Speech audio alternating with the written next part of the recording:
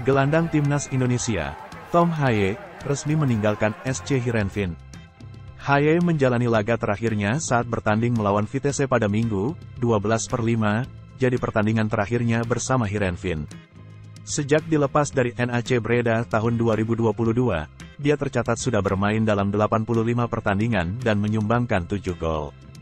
Pemain yang berposisi sebagai gelandang bertahan ini sukses jadi pemain krusial di klub yang bermarkas di AB Lenstra Stadion. Dia memutuskan tidak memperpanjang kontrak yang akan berakhir pada bulan Juni mendatang.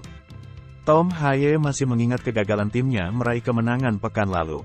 Tepatnya saat dia gagal melakukan eksekusi penalti pada pertandingan melawan Almere FC, tanggal 4 Mei tahun 2024. Menurutnya, jika kesempatan tersebut bisa jadi gol maka hasil pertandingan bisa saja berpihak pada Hirenvin.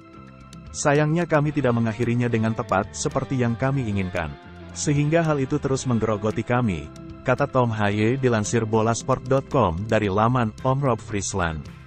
Pemain berusia 29 tahun ini juga memiliki pesan kepada semua supporter yang terus memberikan dukungan.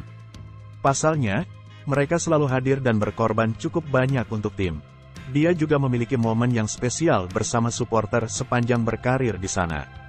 Klub dan para penggemar telah mendukung kami sepanjang musim. Anda pasti ingin mengembalikannya, jadi Anda pasti akan menyesalinya. Saya memikirkan hal itu. Wajar jika Anda mengingat kembali banyak momen yang Anda alami di klub, lanjutnya. Meski harus pergi, Haya menegaskan bahwa Stadion Abel Lenstra akan selalu spesial. Stadion tersebut akan selalu memiliki kenangan indah sepanjang karirnya. Banyak anggota keluarga yang akan datang. Mereka juga selalu menikmati datang ke stadion di sini, pungkasnya.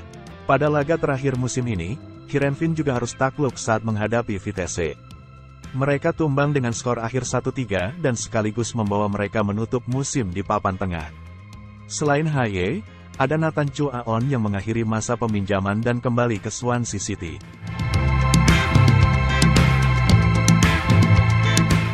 Download Tribun X sekarang, menghadirkan lokal menjadi Indonesia.